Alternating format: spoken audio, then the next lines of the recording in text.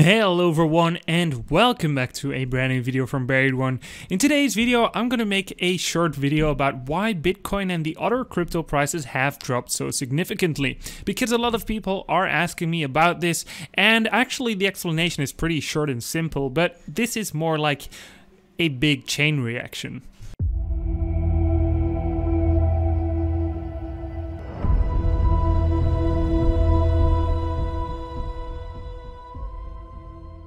Before I start the video, I want to show you guys something new. On buriedone.com, we added an ASIC profit calculator and a GPU profit calculator. This is actually something very new as a lot of people don't know anything about ASIC miners and everything around it like hash rates and whatsoever. So we made it very simple for you guys. The only thing you need to fill in is your electricity cost. So for example, if you have 10 cents per kilowatt hour as it's currently free, you can press calculate and you can of course slide it along the way on how much cents per kilowatt hour you pay. But for example, this is 10 cents per kilowatt hour. It would take 1,730 days to return a Bitmain Antminer E3 for example and this also is for the GPU so you can check them out on the website and have some fun with it. Okay, so let's try and explain this very simple here. Also for people that are new to buriedone.com or Buried One Crypto Mining's YouTube channel, I'm going to tell you guys one thing. So it happened overnight. We lost about $1,000 on Bitcoins, for example, and about $70 on Ethereum. Uh, this is a pretty big impact. And it was caused by a very big business bank called the Goldman Sachs.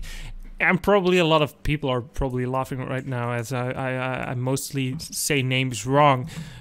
I probably get a few comments on that one. But the thing is, we lost a thousand dollars worth of bitcoins. But if you imagine how small the crypto world is currently at, and you can look at the total market cap. So we lost about 40 billion US dollars overnight. And the total market cap is hovering at about 204 billion right now, going up and down in millions per second. That is pretty normal. But actually, currencies are getting stable when there is trillions and trillions of US dollars inside them. Because if you would take out one trillion of something that is worth a hundred trillion, like US dollars or something, you would only have a 1% price drop. That would be nothing. So we're talking about $40 billion that dropped the price by a thousand dollars. But I'm going to give you guys a small example here on how much money there actually is.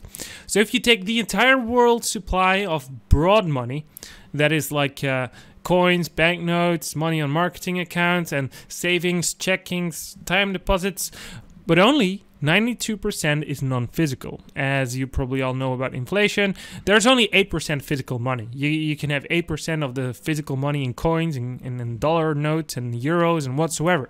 So this is all kind of uh, virtual. But this virtual money can be, of course, converted into crypto as we can put a value against the US dollars now with the Bitcoins. So I'm going to give you guys an example here. So there is 90.4 trillion US dollars on broad money. Okay, so the market cap of the entire crypto was only 200 billion. So that is 450 times more than the current Bitcoin or entire crypto world. But if you take the 90.4 trillion and you would put it all into Bitcoin and, and other cryptos, you can certainly look at three to five million US dollars on a single Bitcoin.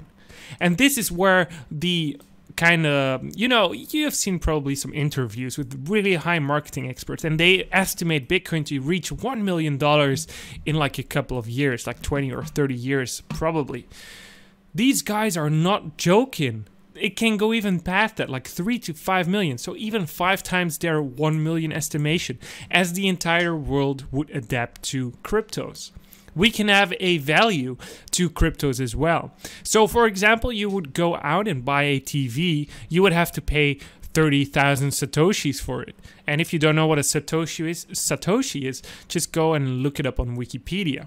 We could put a certain value to items and vice versa. As we did before with gold and, and, and stones and rocks we, we traded with chickens and eggs and that it was a certain value for something.